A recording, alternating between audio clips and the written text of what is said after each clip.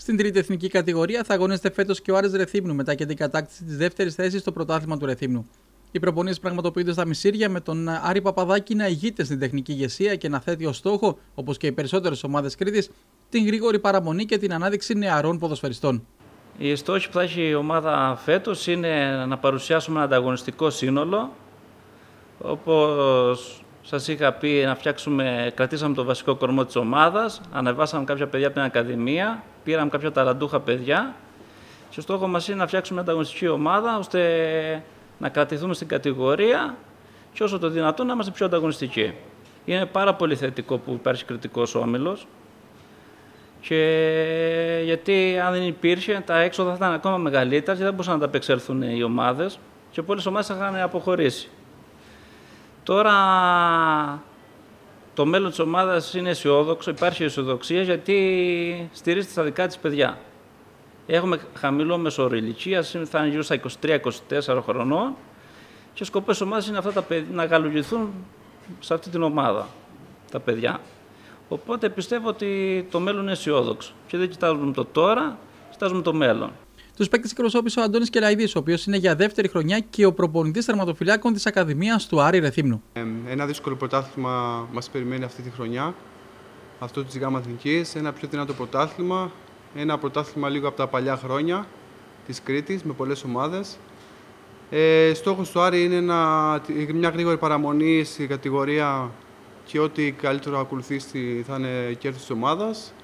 Πολλά νέα παιδιά, ε, παιδιά με δίψα για διάκριση και για αυτουσία την ομάδα που μετά από πολλά χρόνια επιστρέφει στη ΓΑΜΑ Εθνική.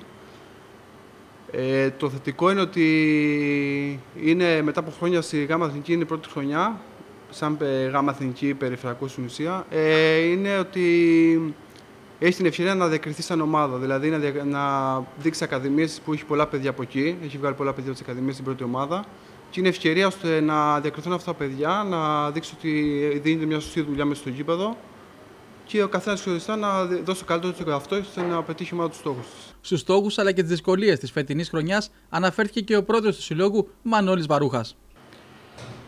Είναι όντως μια χρονιά πρόκληση, είναι μια χρονιά δύσκολη, είναι μια χρονιά η οποία δεν ξέρουμε τι μας ξημερώνει.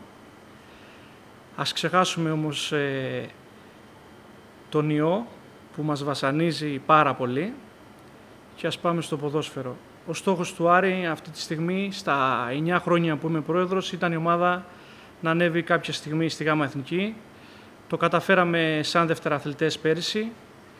Η ομάδα που είχαμε στήσει πέρυσι ήταν για να πάρει το πρωτάθλημα.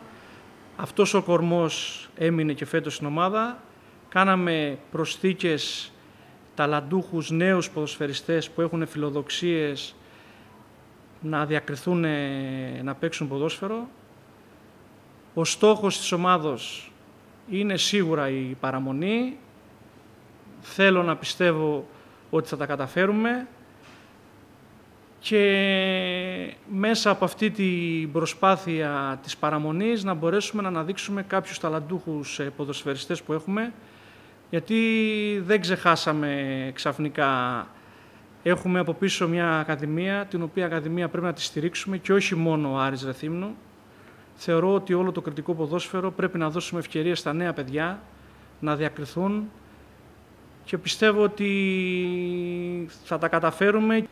Σίγουρα είναι ένα ερέθισμα, σίγουρα ποδοσφαιριστής υπήρξα κι εγώ, είχαμε τότε την ΕΑΡ. Σίγουρα είναι ένα ερέθισμα το οποίο το κυνηγάει ο κάθε μικρός. Ε, τώρα με την τεχνολογία που υπάρχει μπορείς να κάνεις δύο, τρία, τέσσερα μάτς, να σε δει όλη Κρήτη και να σε δει μετά ταυτόχρονα και όλη η Ελλάδα. Έτσι, αυτός είναι ο στόχος. Θέλω να πιστεύω ότι έχουμε δυναμική σαν ομάδα έχουμε γύρω στα 180 παιδιά στην Ακαδημία, ότι θα καταφέρουμε κάποια στιγμή κάποια παιδιά να φύγουν να πάνε σε μεγαλύτερες κατηγορίες να παίξουν. Όπως και οι υπόλοιπες ομάδες, έτσι και ο Άρης Ρεθύμνου περιμένει τις τελικές αποφάσεις για τον τρόπο διεξαγωγής του φετινού ιδιόμορφου πρωταθλήματος της τρίτης εθνικής κατηγορίας.